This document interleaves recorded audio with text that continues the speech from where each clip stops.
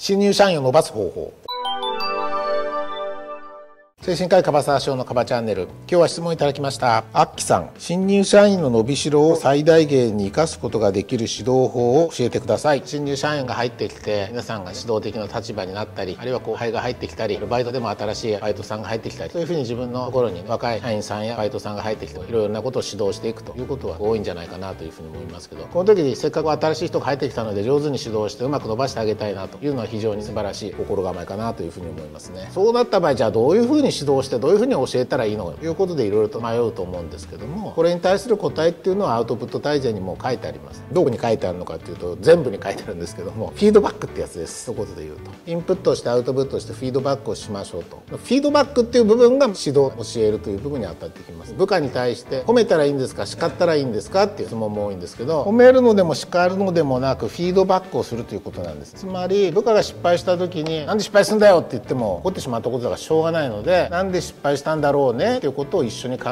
えて失敗した理由や原因をはっきりして次に対策を講じて同じ失敗をしないようにするためにはどうしたらいいんだろうねこういうことをやろうこういうことをもっと勉強しようこういうことを練習しようじゃあそうしようねっていうのがフィードバックです。あるいは何かすごくやってみてうまくいったことがあったらなんでうまくいったんだろうねどういうことを頑張ったの？どういうこと練習したの？なんか勉強したの？そういうことやったんだ。それ素晴らしいね。じゃあもっとやるともっとうまくいくんじゃないの？っていうふうにうまくいった場合うまくいったポイントを本人と引き出していくということですね。絶対何か頑張ってるはずなのでだからそこのところはいいじゃん。いいじゃんそれもっとやろうよ。ということでいいところはもっとやってもらうと。悪いところは本人に気づいてもらって直していただく。だからフィードバックに関しては。褒めるも叱るもないんですね。例えばものすごく失敗したとしても実は何か一生懸命頑張ってる部分っていうのもあったかもしれないわけね。逆に言うとすごくうまくいってるけど実は手を抜いてる部分もあったかもしれないわけ。だから全ての物事はいいも悪いもなくてプラスとマイナスいろんな部分の要素が混然一体となって一つの出来事が起こってるわけだから両方をちゃんと分析していくってことが重要です。反省って言葉があるんだけど反省の良くないところ反省しなきゃダメじゃないかって言った時には一つの出来事に対して悪い部分しか反省しないのでその人がすごい頑張ってるとかいろいろ勉強したとか毎日残業して頑張ってた部分っていうのは反省しないでしょ。だからその部分っていうのがないがしろにされちゃうので本人のモチベーションがどんどん失われていくってことになっちゃいますよね。なので怒るでもなく叱るでもなくフィードバックをしていくということがとても人を育てていくことに重要です。皆さんが部下や後輩を育てていく場合はフィードバックをしてもらう。あるいは自分一人でできない場合はそういうふうに一緒に考